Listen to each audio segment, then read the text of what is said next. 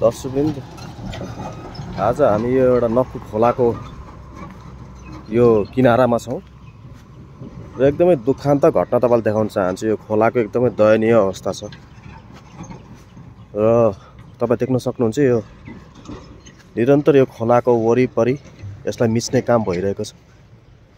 यो विभिन्न प्रकारको यो घरबाट जुन चाहिँ घरलाई फुटाएर घरलाई चाहिँ उ गरिसकेपछि जुन बाँकी भएको माल हुन्छ। यसलाई चाहिँ खोलामा ल्याएर फ्यालेको अवस्था छ दर्शकबिन्द तपाईँहरू राम्रोसँग देख्न सक्नुहुन्छ। र यो खोला मिच्ने काम पनि भइरहेको छ।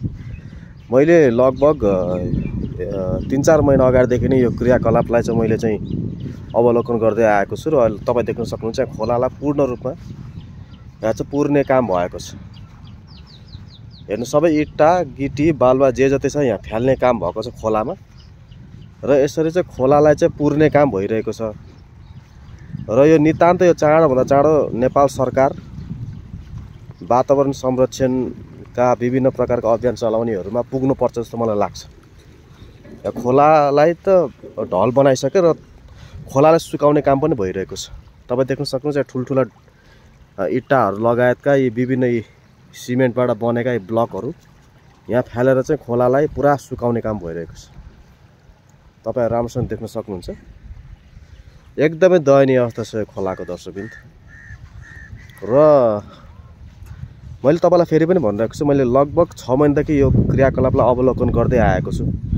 तर पनि मैले कहिले पनि त्यस्तो तपाईँको प्रत्यक्ष रूपमा चाहिँ कहिले पनि त्यसलाई चाहिँ भिडियो हाल्न प्रयास गरिनँ। तर आज चाहिँ जब म मेरो एक्जाम सकियो करिब दुई महिनासम्म मैले मिडियामा त्यति संलग्न भइरहेको थिइनँ र त्यो एक्जामको तयारी गर्दै थिएँ र एक्जाम सकिसकेपछि म फेरि एक हप्तासम्म केही अरू प्रयोजनाको लागि म व्यस्त थिएँ र यतातिर म आउन भ्याइरहेको थिइनँ। तर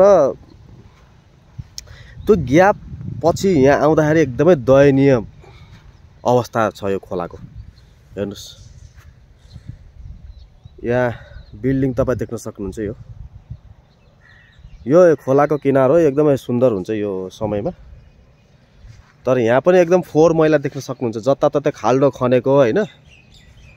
अनि यो के हो यो नेपाल सरकारले पनि यो ध्यान नदिएको हो कि? अथवा ललितपुर महानगरपालिकाले पनि ध्यान नदिएको हो कि भन्ने एक प्रकारको चाहिँ यो बुझिएको छैन। वास्तवमा गर्न खोजेको के हो? भइरहेको के छ? विभिन्न यो बनाइरहेको संरचनालाई भत्काउने काम त भइरहेको छ। तर त्यो सम भत्काइएको संरचनाहरूको जुन बाँकी भएको र मेटेरियल्स हुन्छ थोक पदार्थहरू हुन्छ। यसलाई फ्याल्ने कहाँ?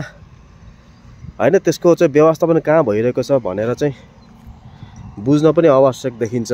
म तपाईँलाई अलिकति यहाँ खोलाको अवस्था देख्न चाहन्छु। एकदमै पातलो भइरहेको छ खोला पनि। र अहिले यो खोलाको पानी तपाईँ देख्न सक्नुहुन्छ एकदम कालो छ। यो पुरा ढल भइसक्यो।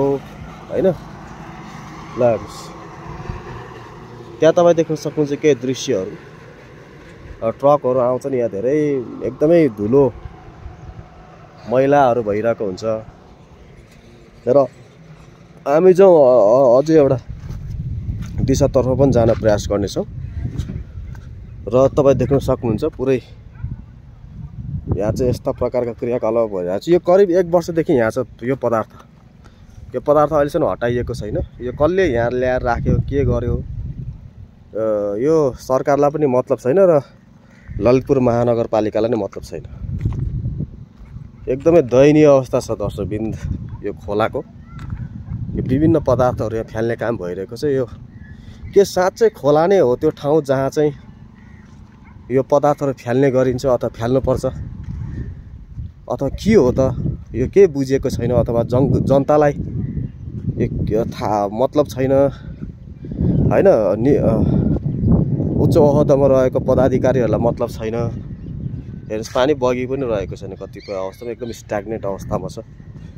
ल हेर्नुहोस् यो रोडको यो जुन पदार्थ छ यो गिटीहरू यहाँ राखिएको छ।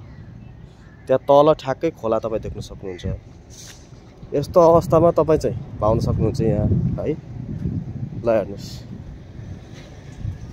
यहाँ विभिन्न ढलहरू पनि कुनै दिन उ हुनसक्छ जस्तो पनि अवस्थामा यहाँ हुनसक्छ। त्यसको भावी योजना के छ त? होइन। त्यो पनि बुझ्न सकिया छैन। अनि त्यसपछि विभिन्न विकासको नाउँमा विभिन्न कामहरू भइरहेको छ। रोडहरूलाई सरसफाइ गर्ने कामहरू भइरहेको छ। रोड रोडहरूमा चाहिँ सुन्दरता फैलाउने काम भइरहेको छ। तर त्यसको ठ्याक्क विपरीत फेरि खोलाको किनारहरूमा यी डङ्गुरहरू फ्यालेर ल हेर्नुहोस् यो सबै सडकहरू भत्केर जुन त्यो पदार्थ निकालिन्छ यहाँ ल्याएर थुपारिएको अवस्था छ। र यसलाई व्यवस्थापन गर्नको लागि खोलाको किनार नै हो चाहिएको हो अथवा के हो त? किन यस्तो भइरहेको छ र नेपाल सरकार किन मौन छ? होइन?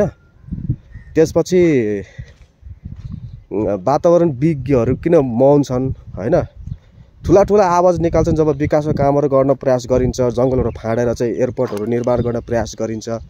त्यति बेला चाहिँ यी वातावरणविदहरू खुब हल्ला मचाउँछन्। तर जब यता सानातिना कामहरू भइरहेको हुन्छ होइन यसरी खोला खोलाहरू मिच्ने कामहरू भइरहेको हुन्छ त्यति बेला यस्ता यी वातावरणविदहरू होइन पर्यावरण संरक्षण गर्न चाहने केही अभियन्ताहरू पनि चुप लागेको अवस्थामा तपाईँ र मैले पाउन सक्छौँ। एकदमै दुखान्त घटना। म अहिले त्यो खोलाको पारिपट्टि तरेर आइसकेको छु तसर्थ म तपाईँलाई अझै नजिकबाट देखाउन चाहन्छु। यताबाट तपाईँले त्यो किनार अर्को हरियाली भएको किनार तपाईँ देख्न सक्नुहुन्छ। यतापट्टि रोड छ र यतापट्टि गिटी बालुवाको यो ओसार पसार गर्ने व्यवसाय यहाँ निरन्तर भइरहन्छ र यहाँ वास्तवमा यहाँको मेन रोड पनि बिग्रिने कारण चाहिँ यो ट्रकहरू बढी चलेर हो। उता नखु साइडको रोड पनि त्यत्तिकै तपाईँको चाहिँ बिग्रिरहन्छ कारण आठ बजेपछि त्यहाँबाट निरन्तर ट्रकहरू आवत जावत भइरहन्छ।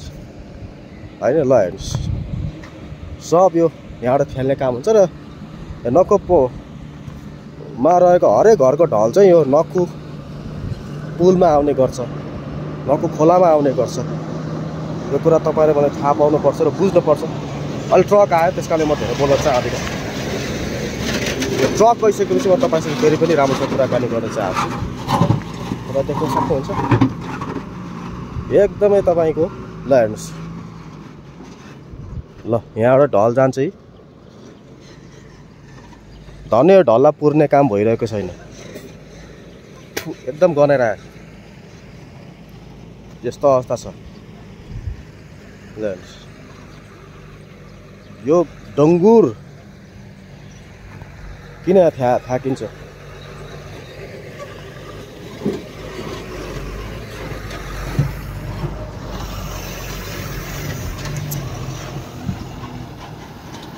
अनि के मन्त्री प्रधानमन्त्रीहरू चाहिँ पानीको लागि लडे कस्तो गर्ने?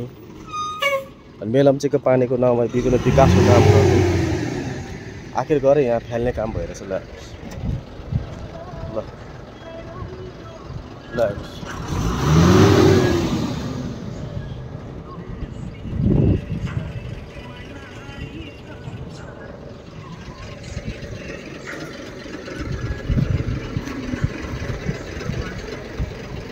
यो ब्लकहरू सब यहाँ फालिएको छ। तपाईँहरू देख्न सक्नुहुन्छ। ल, हेर्नुहोस्, यो यहाँ छ अब यसलाई कसले व्यवस्थित गर्छ?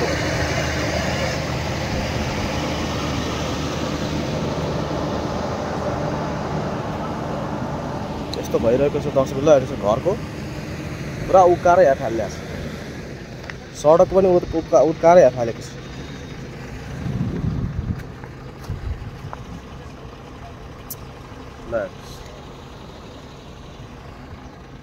हेर्नुहोस् दर्शकबिन यस्तो छ अवस्था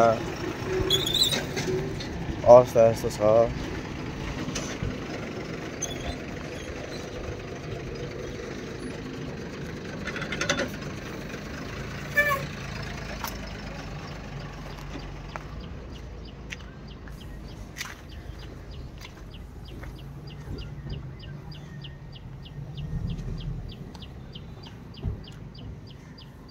एकदमै दुःख लाग्दो अवस्था छ।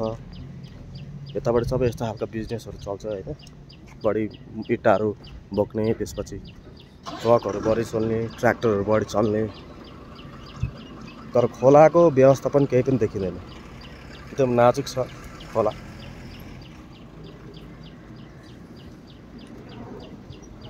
यहाँबाट हिँड्दा मेरो खुट्टा पनि पुरै मैला भइसक्यो।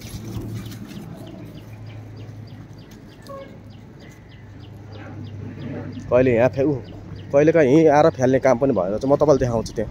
अर्को पनि एउटा एरिया आउँदैछ।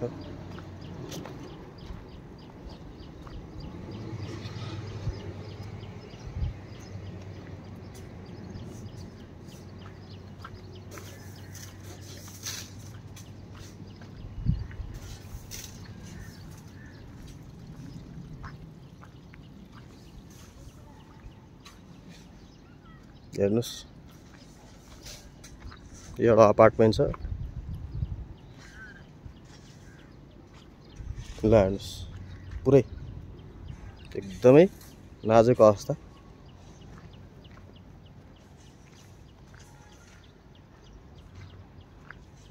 यहाँ त झन् तपाईँको पुरै हेर्नु त पुरै खोला बन्द गरिदिएको छ यहाँ।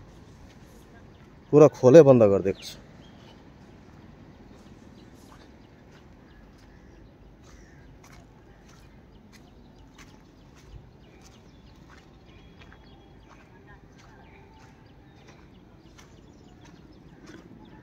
ल हेर्नुहोस् यहाँ माटो फ्याल्ने खोला बन्द गरिदिने। के हो त यो? यो खोला कहाँबाट बग्छ त अब? यसरी यो ढुङ्गाहरू यहाँ हालिदिएपछि। यो खोला कहाँबाट बग्छ त अब? पुरै बन्द छ ल दर्शकबिन ल हेर्नुहोस्। पुरै खोला बन्द गरिदिएको छ ल के गरे होला त यो? ल हेर्नुहोस्। पुरै। ल हेर्नुहोस्। ल। पुरै बन्द गरिदिएछ यहाँ। ल हेर्नुहोस्। पुरै। ल हेर्नुहोस्। सब खोलाको किनारमा आएर यसरी फ्याँकिदिएपछि। ल हेर्नुहोस् त खोला ल हेर्नुहोस् ल। खोलै बन्द छ ल दर्शक बिन्दु के गरे हो त यो? ल। यस्तो नाजुक अवस्था छ अहिले। के हो त यो? अलिकति सरकारको अर्को प्लान छ कि के हो? अथवा सरकारलाई मतलबै छैन कि? ललितपुर महानगरपालिकालाई मतलबै छैन कि के हो त? ल। पुरै बन्द छ खोला यसले पुरा बन्द गरिदिएछ। ल हेर्नुहोस्। यसलाई पुरा बन्द नै गरिदिने हो कि के हो? योजना के छ त नेपाल सरकारको? त बुझ्नु पऱ्यो ल म पुरा देखाइदिन्छु। ल हेर्नुहोस्। त्यहाँ खोला पुरा बन्द छ। जबरजस्ती पानी बगिरहेछ। ल हेर्नुहोस्।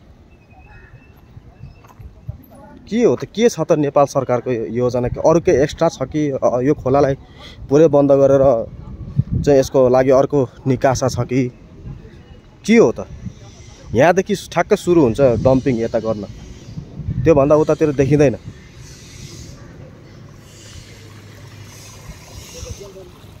ल हेर्नुहोस्। ल यत्रो ठुल्ठुलो ढुङ्गाहरू यहाँ। यहाँ पहिलेदेखि फ्याँक्दै आएको आइएको छ। ल म यहाँबाट देखाइदिन्छु। पुरा टोटल्ली ल दर्शक पनि देख्नुहोस्। पुरा चाहिँ बन्दै गर्दैछ खोला। खोला नै बन्द गर्दैछ क्या पुरै फ्याँकेर। ल पुरै खोलामा फ्याँक्दैछ क्या अब। के भन्ने अब? तपाईँलाई राम्रोसँग देखाएको छु दर्शक पनि अब यो बुझ्ने कुरा तपाईँको हो। होइन? खोलाको किनारमा यसरी राखेपछि के हो त यो? अब यो सरकारबाटै आदेश भएको हो कि? सरकारलाई मतलबै छैन कि? होइन? अब यहाँ चाहिँ यसरी लस्कर हुन्छ। अब हामी यहाँबाट अघि भयो। अब हामी रिटर्न हुँदैछौँ अब। बिस्तारै हामी रिटर्न हुन्छौँ।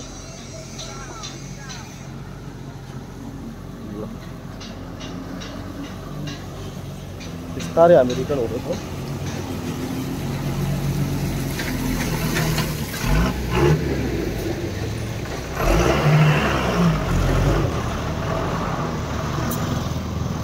के हो त यो ल। पुरै। ए ल हेर्नुहोस्। पुरा बन्द। गरिएको छ ल खोलामै